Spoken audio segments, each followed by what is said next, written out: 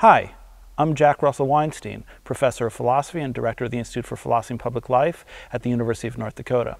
I'm here today because I posted something on our blog, pqed.org, that went viral. Much to my surprise, 113,000 people shared it, and there were thousands of comments in response.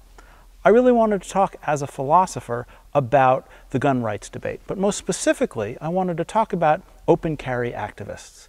Because for me, it's problematic. But I didn't just want to be a voice in the gun debate. I wanted to be a philosopher asking how to solve an intractable problem. What's the problem? There are gun carry activists, particularly in Texas, who want to go places like Target and restaurant and carry loaded guns, often high-powered automatic weapons. And then there are people who are scared of it and don't want to eat in a restaurant with people who are fully armed. Both of those positions may be understandable. So how, as a philosopher, do I deal with that? The answer I came up with respected both people's rights. The people in the restaurant who are uncomfortable just leave. But they're supposed to leave because they're afraid. And that leads to another philosophical problem. If you're afraid for your life, do you pay the tab? And my answer was no. My answer was, if you're afraid for your life, you just get up and leave. Maybe the restaurant pays the bill themselves, maybe the activists pay the bill. But in reality, if you're genuinely concerned that someone is going to shoot you, your spouse, and your kids, it makes no sense to pay the bill. I don't want to say that people freaked out because most of the people who commented on the blog supported it. And in fact, lots of people felt that this idea was a rational, safe, calm idea that respected everyone's right. But there were a group of gun activists who felt that this was theft, that this was taking advantage of a situation, and then ultimately that this was some form of discrimination and intolerance, that people didn't like gun owners and so they wanted to leave. How would it be if I didn't like an African American, or I didn't like a tall person, or I didn't like an immigrant? Would it be okay to leave them? And the answer I came up with in a different post was that it is completely different. First of all, it's not thievery.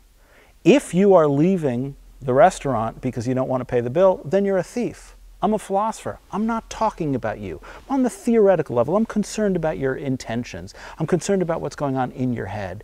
If you leave because you're afraid, that's moral. If you leave because you don't want to pay the bill, that's not moral. If, however, you want to compare it to the history of discrimination, then that's not quite right. First of all, under the Constitution, we have protected groups. And traditionally marginalized people, women in this country, African American in this country, um, gays and lesbians in this country, if you leave because they're there and they're no threat to you, then that's a problem. Gun owners are not protected group. The right to carry weapons may be, depending on where you are. The right to bear arms certainly is, but of course, the right to bear arms doesn't mean the right to bear every arm. It doesn't mean the right to bear all the arms. It only means the rights to bear arms. So, is it discrimination? I don't think so. Because gun rights activists do not have a history of institutional discrimination. They do not have a history of being denied the right to marry, being denied the right to go to school, being denied the right to vote. They haven't been slaves. They weren't subject to the Holocaust. They haven't been beaten in the streets. In fact, if you look at the history of, of, of, guns in America, certainly in the last 15, 20 years, rights have expanded, not contracted. And so in the end, leaving because they make you uncomfortable and leaving because they're dangerous, or I should say, they may be dangerous, is a rational response. And as a philosopher, that is what I am the most concerned with. How can we create a rational response to an intractable problem? I would love to know your answer. I'd love to have your feedback. So come visit pqed.org and look at the several different posts on guns, but in particular, look at how should we react to open carry activists? I think you'll find the responses really interesting, and I would love to hear what you have to say.